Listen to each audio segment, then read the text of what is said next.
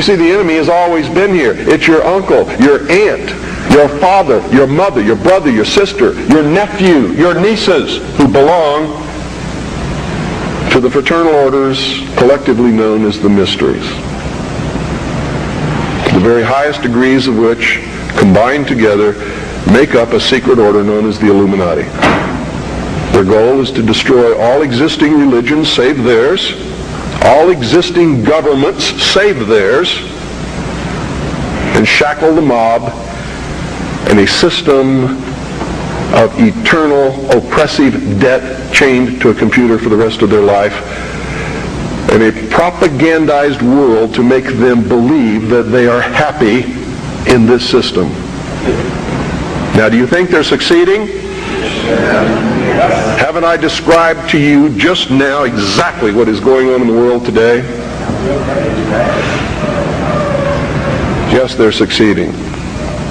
They're succeeding because the American people don't understand their enemy. They don't even know what's happening.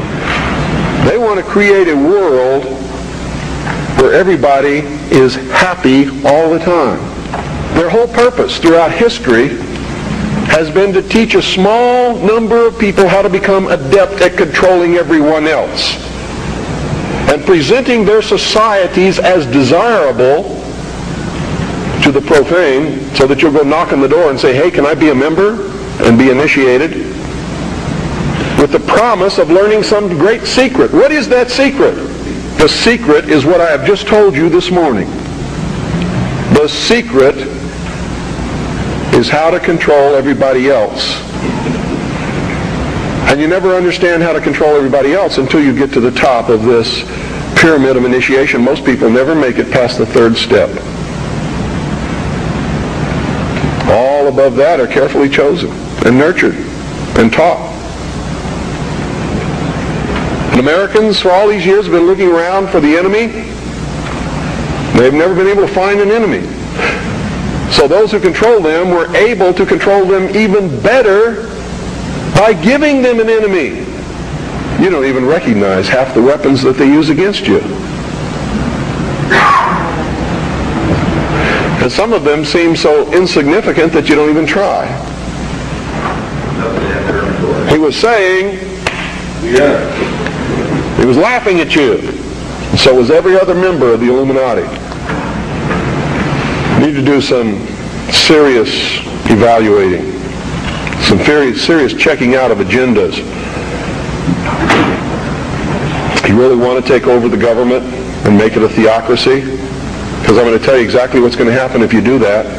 You're going to burn people at the stake who disagree with you. And if that happens, I'm going to have to take up arms all over again. And so will many of you because you're going to be persecuted. You see? Because whichever one controls the government, you're going to have to conform to that teaching, and if you don't believe in it, you're a heretic. Do you understand what I'm talking about? What is our common bond truly? Freedom. Freedom. Without freedom, you can't be a Christian no matter what denomination you belong to. You can't be a Buddhist. You can't own a donut shop. You can't drive from here to Oregon. You can't be an American because that's what it's all about, and that's the only thing that it's all about. Nothing else. Nothing else. It's about freedom. Freedom. Only freedom.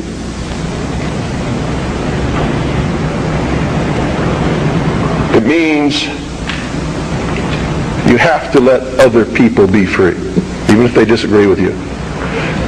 But I got something that you don't have. I have a free press. It's mine. And I get to say what I want. And I get to publish what I want and print what I want because it's mine. And I'm free. And it's my free press. This country is about freedom.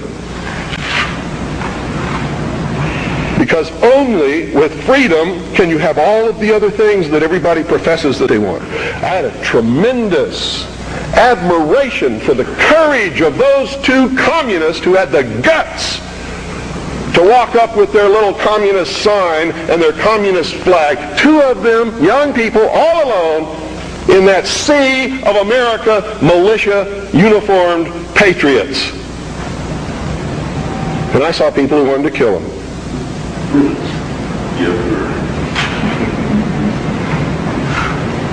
know, I don't like their philosophy. They're misled, misguided. Communism is a terrible thing. But they had guts. I had a great respect for them. And I believe in freedom. And you had better understand that. Because if you stop them from having their freedom to make their political statement, you have stopped yourself. You have stopped everyone. And that must never happen in this country. It must never happen in this country. Because if it does, there'll never be another congregation like this, and you'll never hear me speak again because I'll be dead. And so will most of you. This country is about freedom. Because only with freedom can you have all of the other things that everybody professes that they want. You know what's wonderful about America? You can have a press. I have a press. How many of you have seen my newspaper? That newspaper's no joke. It makes congressmen cringe when they see it. It scares the hell out of the enemy. You too can have a radio show. I'm going to teach you how just here in just a couple of minutes. You too can publish books like this. I did it. The Harvest Trust is the trust for my children. I'm not rich. I don't have anything. How I financed this book? I sold copies before it was printed to people who believed enough in me to buy them. You don't really understand sometimes what a terrible burden it is to know some of the things that I know and try to wake people up and impart this knowledge to them and find out that they just have walls built in front of them. They want to be slaves. But we're making some chinks in those walls. You too can have a free press, and that's what it's going to take to get this country back without bloodshed. And I'm going to tell you right now, unless we can be successful in creating a real free press, where the American people get different viewpoints other than those expressed in the establishment-controlled media, there's going to be a civil war in this country, and it's going to come soon. The only thing that can stop it is by waking up vast amounts of sleeping people. Sheeple is what they are. They are following the Judas goat right into the shearing pins, and from there they will go to the slaughter, and they will not know that anything is wrong until they smell the blood of the sheeple in front of them.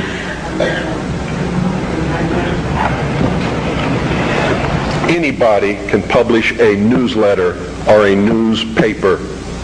Anybody. It is not expensive.